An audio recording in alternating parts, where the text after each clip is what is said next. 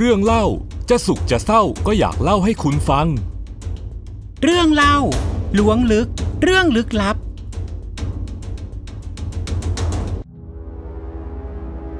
ตำนานผีญี่ปุ่น เทเคเทเค ผีญี่ปุ่นเทเคเทเค เป็นตำนานหลอนของประเทศญี่ปุ่น โดยเรื่องเล่ามีอยู่ว่า มีนักเรียนสาวคนหนึ่ง เกิดประสบอุบัติเหตุ หล่นลงไปตรงทางรถไฟ ทำให้ร่างของเธอนั้น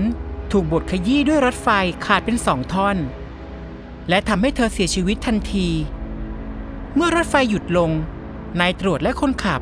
ก็ออกมาค้นหาศพ แต่ทว่า หาอย่างไรก็ไม่เจอ อากาศก็หนาวมากขึ้นทุกที เพราะเป็นฤดูหนาว และหิมะก็เริ่มตกแล้ว เวลาผ่านไปจนกระทั่งพบท่อนล่างที่ถูกรถรางบี้ขาดท่อนออกมา แล้วร่างท่อนบนหายไปไหน ปรากฏว่ากว่าจะพบท่อนบนก็ต้องเดินไกลออกไปร่วมกิโล และเล่าลือกันว่า จังหวะที่เธอโดนรถไฟทับนั้น เธอยังไม่ตายในทันที เนื่องด้วยช่วงนั้นอากาศหนาว มีหิมะตก จึงทำให้เลือดแข็งตัว เธอมีชีวิตอยู่กับความเจ็บปวดทรมานราวๆเกือบครึ่งชั่วโมง เธอพยายามคลานต่อไปอีก พร้อมกับร้องหาขาของเธอว่า ขาของฉันอยู่ไหน ขาของฉันอยู่ไหน จนเธอขาดใจตายในที่สุด บางตำนานเล่าว่านายตรวจสองคนเดินลงไปดู แล้วคนหนึ่งแยกไปหาร่างของเธอ แต่หายไปนานผิดปกติ นายตรวจอีกคนหนึ่งจึงเดินออกตามหา จนไปพบ ปรากฏว่าภาพที่เห็นก็คือ นายตรวจคนนั้น นอนแข็งตายอยู่ และมีร่างครึ่งท่อนบนของหญิงคนนั้นกอดรัด ใช้ฟันกัดติดอยู่กับร่างของนายตรวจคนนั้น นับตั้งแต่เหตุการณ์นั้นทำให้เธอเป็นผีที่มีความอาฆาตพยาบาท ในทุกๆคืน เธอจะถือเคียวหรือเลื่อย เดินทางโดยใช้ข้อศอกคลานไปมาตามรางรถไฟ ขณะที่เธอคลานตัวนั้น จะมีเสียงเทคเคเทคเค ซึ่งเป็นที่มาของชื่อเทเคเทเค ถ้าเป็นบ้านเราก็คงเป็นเสียง แกรกแกรกแต่ถึงแม้เธอจะคลานด้วยข้อศอก แต่มันก็มีความเร็วมากทีเดียว หากใครพบเธอเข้าแล้ว เกิดหนีเธอไม่พ้นละก็ จะถูกเธอใช้เคียวตัดออกเป็นสองท่อน เพื่อให้เป็นเทเคเทเคตัวต่อไป บางตำนานก็เล่าว่า คาชิมะเรโกะเธอถูกคนทำร้ายสาหัส แล้วถูกทิ้งไว้ให้ตายในห้องน้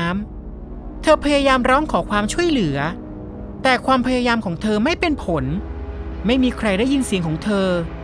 เธอจึงพยายามคลานออกมาจากห้องน้ำเพื่อมาขอความช่วยเหลือ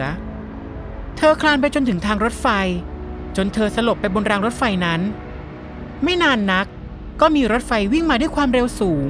ตัดร่างของเธอขาดเป็นสองท่อน ตั้งแต่นั้นเป็นต้นมาผีคาชิมะเรโกะ ผู้มีความอาฆาตทุกทรมานก่อนตาย ก็ได้ออกตามหาขาของเธอที่หายไป เธอจะคอยถามคนที่ผ่านไปมาว่า ขาของฉันอยู่ไหน ถ้าคุณตอบไม่ได้ เธอจะตัดขาของคุณทิ้ง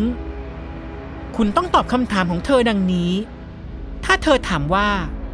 ขาของฉันอยู่ไหน ให้ตอบไปว่า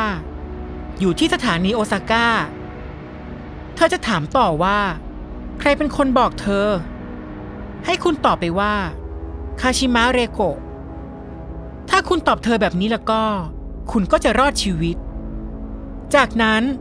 เรื่องนี้ก็กลายเป็นเรื่องสยองขวัญสุดฮิตของชาวญี่ปุ่น ที่เล่าลือปากต่อปากจนเป็นตำนาน เนื้อหาและรายละเอียดแปลสภาพไปตามยุคสมัย แต่ตัวเอกก็ยังเป็นผู้หญิงครึ่งท่อน ตามหาขาของเธออยู่นั่นเอง อยากจะฟังเรื่องอะไร ก็คอมเมนต์มาบอกกันได้เลยนะครับแล้วเราจะทยอยเล่าให้ฟัง อย่าลืมกดไลค์และ Subscribe ช่องของเรา เพื่อที่จะได้ฟังเรื่องเล่าลี้ลับ ที่เราจะมาเล่าให้คุณฟังทุกวันนะครับ